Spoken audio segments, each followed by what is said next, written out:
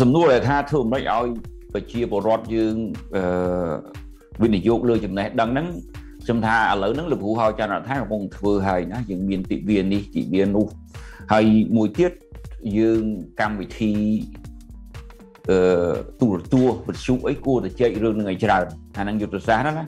បើខ្ញុំខ្លួនឯងហ្នឹងខ្ញុំតែងទុកខ្លួនជាមនុស្សគំរូជាឧទាហរណ៍មួយសម្រាប់ការរៀនសូត្រការវិនិយោគលើការរៀនសូត្រហ្នឹង ពួកខ្ញុំពីក្មេងមានអ្នកចិត្តខាងខ្លះរិះគន់យើងគឺយើងប្រឡងជាប់គ្រូសុបាយក៏ដល់រៀនដល់ណាក៏ដែរបូកគ្មានខ្សែងើបមិនរួចទេអញ្ចឹងខ្ញុំតាំងពីក្មេងសន្យាខ្លួនឯងរៀនឲ្យពូកែរកលុយឲ្យពូកែឲ្យខ្លាយជាមនុស្សជោគជ័យមានទ្រព្យមានធនមានផ្ទះល្អនៅ មានប្រពន្ធល្អមានកូនល្អមានឡានល្អជិះមានទ្រព្យធន អញ្ចឹងក្នុងខ្ញុំខ្លួនឯងហ្នឹងតែងតែធ្វើខ្លួនឲ្យខ្លាយជាមនុស្សគំរូមួយសម្រាប់មនុស្សដែលស្គាល់ខ្ញុំសាច់ញាតិបងប្អូនអ្នកជិតខាងកូនសិស្សក៏ដោយមើលយើងជាគំរូអញ្ចឹងខ្ញុំថាធម្មតាបើសិនជាយើងអាចធ្វើកិច្ចការនឹងបានយុវជនយើងនឹងធ្វើតាមអញ្ចឹងបានខ្ញុំចេះតែនិយាយថាយើងអ្នករៀនសូត្រកុំធ្វើខ្លួនតិចទៀត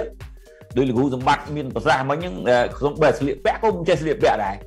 យើងកាយើងរៀនបានខ្ពស់ប៉ុន្តែយើងតិចទៀត ណាជីវភាពក៏តិចទៀតតិចទៀតគ្រប់រឿងនិយាយក្មេងវាអត់ចង់ធ្វើតាម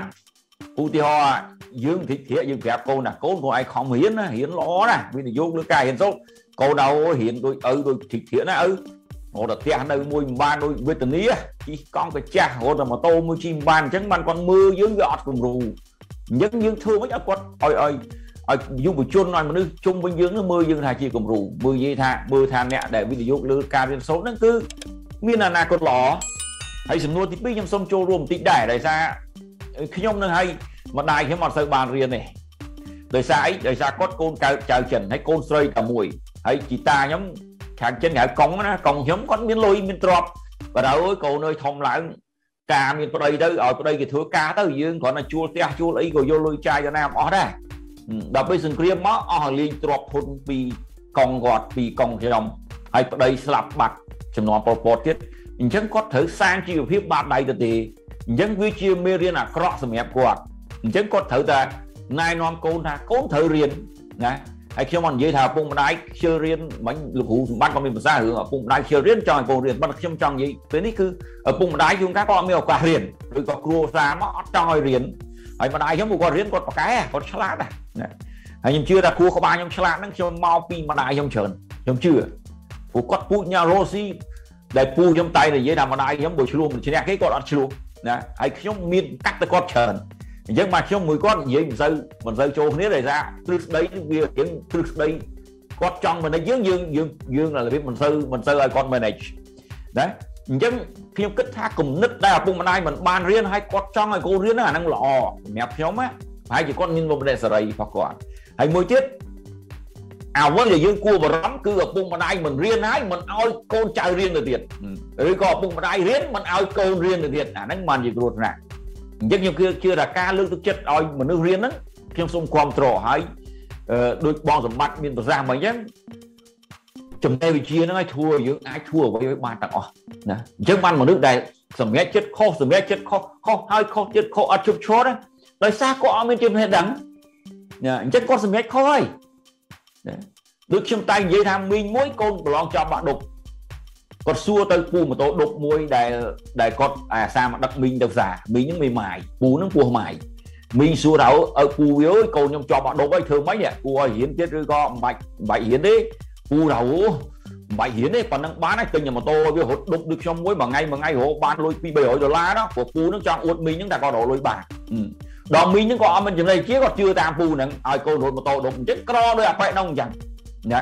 ប៉ុន្តែមីងហ្នឹងមកសួរខ្ញុំលោកក្មួយអើយលោកក្មួយដិនសមេតរិទ្ធឃើញលោកក្មួយរៀនបានច្រើនធ្វើការល្អច្រើនហ្នឹងកូនខ្ញុំចប់អត់ដូចទៅម៉េចមីងអើយឲ្យកូននឹងរៀនដល់ទីបញ្ចប់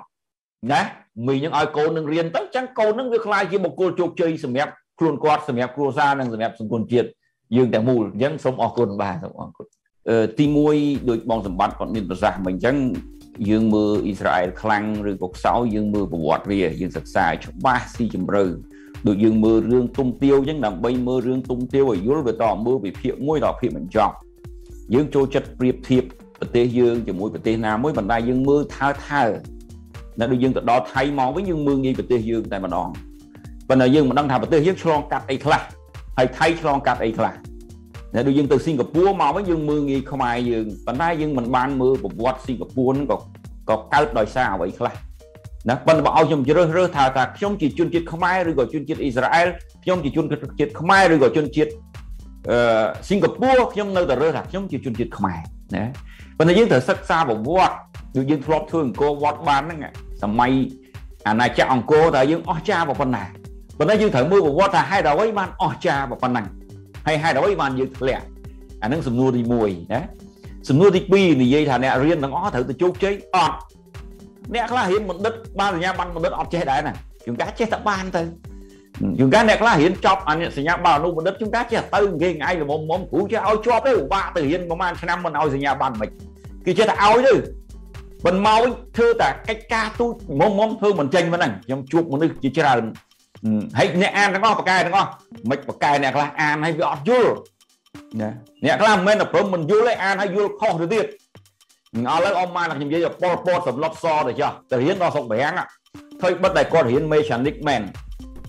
ចំណុចខ្លាំងរបស់គាត់គាត់បង្កើតចលនានឹងបានជោគជ័យដោយវិធីណាមួយយើងសិក្សាឲ្យស៊ីជម្រៅដល់ទៀតទៅប៉ុន្តែចំណុចខ្សោយរបស់គាត់ហេតុអ្វីបានប៉ុលពតសម្លាប់មនុស្ស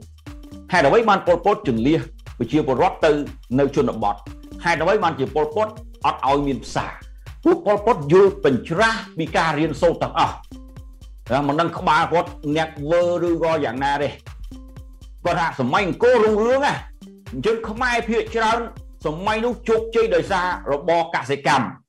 អញ្ចឹងគាត់មកស្រុកខ្មែរវិញពេលគាត់ក្តាប់អំណាច1975គាត់ថាខ្មែរយើងប្រជាជនប្រហែលជា90%ជាកសិករអញ្ចឹងខ្មែរយើងគួរតែផ្ដោតកសិកម្មគួរតែធ្វើកសិកម្ម ក្នុងសម័យពេលដែលពិភពលោកគេងាកទៅរកឧស្សាហកម្មអស់ហើយហ្នឹងគេធ្វើទូរស័ព្ទមួយយើងធ្វើស្រែរាប់ឆ្នាំបានបីទិញទូរស័ព្ទបានមួយប៉ុន្តែគាត់យល់បញ្ច្រាស់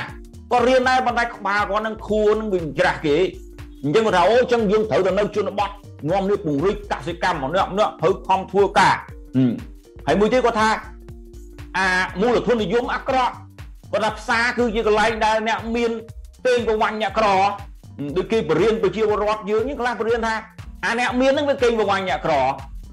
អាពួកហ្នឹងមានលុយដោយសារវាកេងប្រវាញ់អ្នកក្របានបានយើងក្រវាមានគាត់មានបរៀនយើងថាគេមានដោយសារគេខំគេអីណាគាត់បរៀនថាអ្នកមានហ្នឹងគឺកេងអ្នកក្របានវាមានវារៀនយ៉ាងហ្មងជាងមកផ្នែកក្រហមអត់ឲ្យមានផ្សារអត់ឲ្យមានលុយព្រោះគាត់ផ្សារផ្សារគឺជាកន្លែងដែលអ្នកមានកេងប្រវាញ់ពីអ្នកក្រអញ្ចឹងគាត់ជលៀសទៅជនបទទាំងអស់មនុស្សទាំងអស់ត្រូវស្មារភាពគ្នាទឹកដីគឺជារបស់កសិករអី វណ្ណៈខាងក្រោមទៅវិញវាផ្ទុយវិញញ៉ាឯងរៀនដល់មកដិតក្រោយញ៉ាឯងដុកទ័រក្រោយញ៉ាឯងស្អីក្រោយត្រូវទៅធ្វើស្រែវាខុសវាច្រាស់អញ្ចឹងចង់និយាយថាអាការរៀនការអានហ្នឹងវាតមនុស្សនឹងរៀនដោយច្បាស់រៀនឲ្យយល់ស៊ីជម្រៅមិនមែនរៀនថើថើហើយយល់ថាអាហ្នឹងវាត្រូវអ្នកណាប្រឆាំងមួយគាត់គាត់សម្លាប់ចោលអញ្ចឹងដូចគ្នាដូចខ្ញុំពោលថាមានការស្រាវជ្រាវថាក្មេងៗដែលជួយកិច្ចការឪពុកម្ដាយនឹង ច្រើនតែអ្នកជោគជ័យទាំងឡាយនឹងច្រើនតែធ្លាប់ជួយកិច្ចការឪពុកម្ដាយកាលនៅក្មេងព្រោះមានអ្នកខមមិនអូគ្រូខ្ញុំជួយមកជីវិតឥឡូវឲ្យខ្ញុំជួយអីទៀតវាមិនទាន់ឃើញជោគជ័យចោះសោះដោយសភាពគាត់មានប្រសាសន៍មិញគឺអាប់រ៉ាហាំលីនខុននឹងអ្នកនិយាយគាត់ថាអ្នកដឹកនាំទាំងអស់សុទ្ធតែជាអ្នកអានក៏ប៉ុន្តែមិនមែនអ្នកអានទាំងអស់សុទ្ធអ្នកដឹកនាំទេព្រោះអ្នកដឹកនាំវាមានតិចអ្នកអានវាអាចមានច្រើនតែអានរឿងអត់ប្រយោជន៍ណា ខ្លះអានរឿងប្រឡោមលោកអីចឹងទៅខ្លះអានរឿងអត់ប្រយោជន៍អានក៏ល្ងាប់ទៀតទៅខ្លាចមនុស្សជោគជ័យមិនកើតពួកអានអត់ប្រយោជន៍ដូចយើងមើល YouTube ចឹងបើយើងមួយថ្ងៃមួយថ្ងៃមើលតភ្លឺប៉ុន្តែមើលរឿងអត់ប្រយោជន៍មើលអីណាតារាណាជេរគ្នាមើលមើលសួរគ្រូខ្ញុំមើលមើលដល់មិនចេះបានអីចេះបើយើងមើលរឿងអត់ប្រយោជន៍ចឹងគួរក្បាលយើងវាសោះសម្រាមពេញក្បាលឡើងឲ្យយើងជោគជ័យមិនកើតចឹងខ្ញុំខ្ញុំសង្ខេបប៉ុណ្ណេះសរុបប៉ុណ្ណេះស្អីបើប៉ះពាល់អីសូមអធិស្ឋានព្រោះខ្ញុំចូលចិត្តនិយាយត្រង់ត្រង់ច្បាស់ច្បាស់ទៅ ស្រួលយកទៅផ្ទះវិញបាទអរគុណបាទ